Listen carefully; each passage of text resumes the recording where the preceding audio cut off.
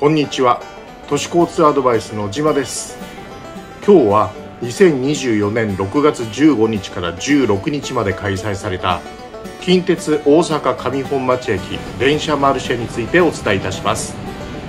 地上ホーム9番ホームに停車していたのは通勤車両を改造した観光列車集い。期間中はこの列車を留置してホームと車内でイベントを行いました。今回の上本町電車マルシェは近鉄が主体となった販売イベントで車内一面三重県尽くしゆずっこサイダーや伊勢うどん地酒なども販売されました。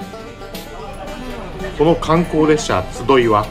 沿線の風景や地元のさまざまな味わいを楽しんでもらおうと考案した車両で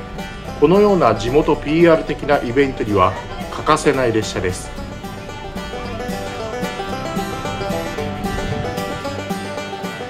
今回この電車マルシェでは買った食事を車内のテーブルで楽しむことができます。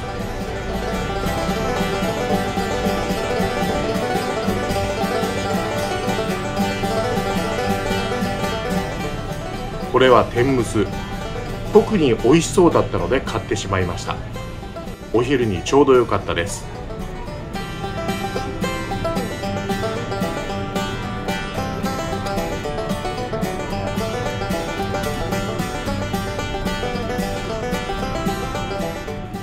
ホームでもさまざまな商品が販売されておりました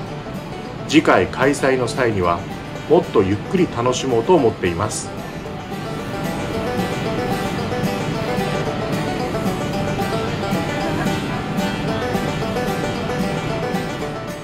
以上都市交通アドバイスの島でした。